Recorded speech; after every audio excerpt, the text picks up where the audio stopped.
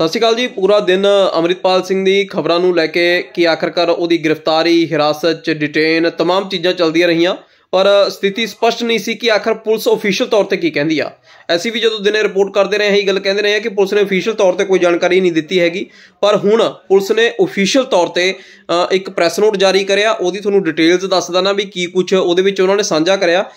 Police ਨੇ ਬਕਾਇਦਾ ਤੌਰ ਤੇ ਜੇ ਕਿਹਾ ਜਾਵੇ ਕਿ ਇੱਕ ਤਾਂ ਉਹਨਾਂ ਨੇ ਕਿਹਾ ਕਿ ਵਾਰਿਸ ਪੰਜਾਬ ਦੇ ਅਨਸਰਾਂ ਦੇ ਵਿਰੁੱਧ ਪੰਜਾਬ ਪੁਲਿਸ ਨੇ ਸ਼ੁਰੂ ਕੀਤਾ ਕ੍ਰੈਕਡਾਊਨ ਤੇ 78 ਗ੍ਰਿਫਤਾਰੀਆਂ ਨੇ ਹੋ ਚੁੱਕੀਆਂ ਨੇਗੀਆਂ।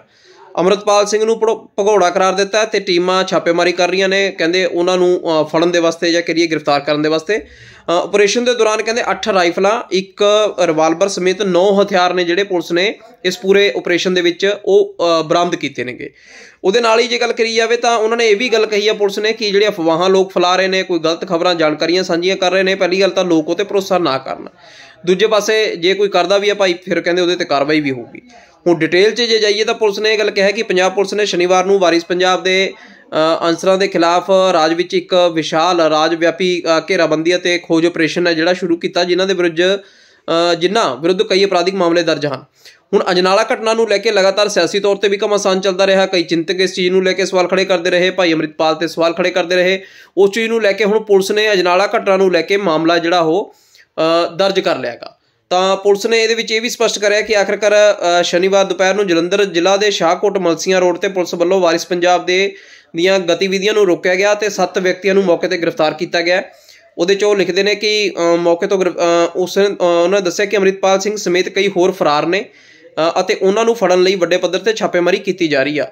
ਸੂਬਾ ਪੱਧਰੀ ਕਾਰਵਾਈ ਦੌਰਾਨ ਹੁਣ ਤੱਕ 9 ਹਥਿਆਰ ਜਿਨ੍ਹਾਂ 'ਚ ਇੱਕ 315 ਬੋਰ ਰਾਈਫਲ ਪ- 12 ਬੋਰ ਦੀਆਂ 7 ਰਾਈਫਲਾਂ, ਇੱਕ ਰਿਵਾਲਵਰ ਅਤੇ ਅਲੱਗ-ਅਲੱਗ ਕੈਲੀਬਰ ਤੇ 373 ਕਹਿੰਦੇ ਜਿੰਦਾ ਕਾਰਤੂਸ ਨੇ ਅਸੀਂ ਬਰਾਮਦ ਕੀਤੇ ਨੇ।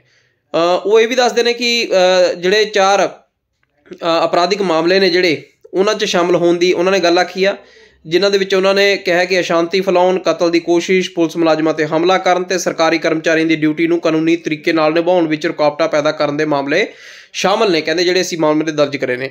ਉਹਨਾਂ ਨੇ ਅੱਗੇ ਇਹ ਵੀ ਦੱਸਿਆ, ਕਹਿੰਦੇ ਅਜਨਾਲਾ ਪੁਲਿਸ ਸਟੇਸ਼ਨ ਤੇ ਹਮਲੇ ਲਈ ਡਬਲਯੂਪੀਡੀ ਦੇ ਅੰਸ ਯਾਨੀ ਕਿ ਵਾਰਿਸ ਪੰਜਾਬ ਦੇ ਅਨਸਰਾਂ ਦੇ ਵਿਰੁੱਧ ਮੁਕੱਦਮਾ ਨੰਬਰ 39 24/2/2023 ਦਰਜ ਕਰ ਲਿਆ ਗਿਆ ਹੈ। ਅੱਗੇ ਦੱਸਦੇ ਨੇ ਕਿ ਅਪਰਾਧਿਕ ਅਪਰਾਧਾਂ ਦੇ ਵਿੱਚ ਸ਼ਾਮਲ ਵਿਅਕਤੀਆਂ ਦੇ ਨਾਲ ਕਾਨੂੰਨੀ ਅਨੁਸਾਰ ਨਿਪਟਿਆ ਜਾਵੇਗਾ ਤੇ ਪੁਲਿਸ ਨੂੰ ਲੋੜੀਂਦਾ ਸਾਰੇ ਵਿਅਕਤੀ ਆਪਣੇ ਆਪ ਨੂੰ ਕਾਨੂੰਨ ਦੀ ਪ੍ਰਕਿਰਿਆ ਲਈ ਪੇਸ਼ ਕਰਨ, ਯਾਨੀ ਕਿ ਸਰੈਂਡਰ ਕਰਨ। ਭਾਈ ਅਮਰਿਤਪਾਲ ਨੂੰ ਵੀ ਕਿਹਾ ਤੇ ਉਹਨਾਂ ਦੇ ਸਾਥੀਆਂ ਨੂੰ ਵੀ ਜਿਹੜੇ ਉਹਨਾਂ ਦੇ ਨਾਲ ਭੱਜੇ ਹੋਏ ਨੇ। ਅੱਗੇ ਉਹ ਕਹਿੰਦੇ ਨੇ ਕਿ ਉਹਨਾਂ ਨੇ ਕਿਹਾ ਕਿ ਕਾਨੂੰਨ ਤੋਂ ਬਚਾਅ ਦੇ, ਉਹਨਾਂ ਦੇ ਸੰਵਿਧਾਨਕ ਅਧਿਕਾਰਾਂ ਦੀ ਰੱਖਿਆ ਕੀਤੀ ਜਾਵੇਗੀ। ਯਾਨੀ ਕਿ ਜਿਹੜੇ ਉਹਨਾਂ ਦੇ ਹੱਕ ਨੇ ਕਹਿੰਦੇ ਲੀਗਲੀ ਤੌਰ ਤੇ ਉਹ ਆਪਦੇ ਉਹ ਅਖਤਿਆਰ ਕਰ ਸਕਦੇ ਨੇ। ਇਸ ਦੌਰਾਨ ਸਾਰੇ ਨਾਗਰਿਕਾਂ ਨੂੰ ਬੇਨਤੀ ਕੀਤੀ ਜਾਂਦੀ ਹੈ ਕਿ ਉਹ ਝੂਠੀਆਂ ਖਬਰਾਂ, ਅਫਵਾਹਾਂ ਦੇ ਧਿਆਨ ਨਾ ਦੇਣ ਤੇ ਸੂਬੇ ਵਿੱਚ ਸਥਿਤੀ ਪੂਰੀ ਤਰ੍ਹਾਂ ਸਥਿਰ ਹੈ। ਸੂਬੇ ਦੀ ਸ਼ਾਂਤੀ ਅਤੇ ਸਪਤਭਾਵਨਾ ਨੂੰ ਭੰਗ ਕਰਨ ਲਈ ਸ਼ਰਾਰਤੀ ਗਤੀਵਿਧੀਆਂ ਵਿੱਚ ਸ਼ਾਮਲ ਸਾਰੇ ਵਿਅਕਤੀਆਂ ਨੂੰ ਸਖਤੀ ਨਾਲ ਨਜਿੱਠਿਆ ਜਾਊਗਾ।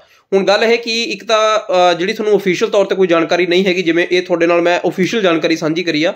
ਅਜਿਹੀ ਜਾਣਕਾਰੀ ਤਾਂ ਸਾਂਝੀ ਤੁਸੀਂ ਜਿੰਨੀ ਮਰਜ਼ੀ ਕਰ ਦਿਓ, ਪਰ ਜਿਹਦਾ ਕੋਈ ਸਿਰ ਪੈਰ ਨਹੀਂ ਹੈਗਾ, ਕਈ ਬਹੁਤ ਜੇ ਕਿਹਾ ਜਾਵੇ ਆਪ ਮੁਹਾਰੇ ਹੋ ਕੇ ਬੋਲਦੇ ਰਹਿੰਦੇ ਨੇ ਐ ਹੋ ਗਿਆ ਐ ਹੋ ਗਿਆ, ਇਹ ਜੀ ਕੁਝ ਕਰਨ ਦੀ ਲੋੜ ਨਹੀਂ।